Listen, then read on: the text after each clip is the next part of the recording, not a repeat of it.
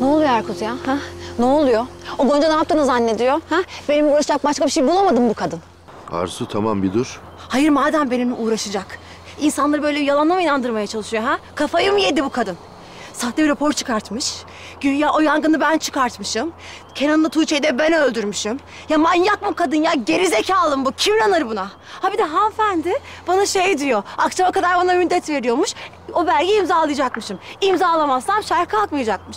Eğer ben onu kaldırmazsam da gidip Emiroğlu'na her şeyi anlatacakmış. Arzu! Yeter artık ya yeter. O belge sahte falan değil gerçek. Arzu hatırlasana. Hatırlasana. O gün o yangını sen çıkarttın Arzu. Sen çıkarttın.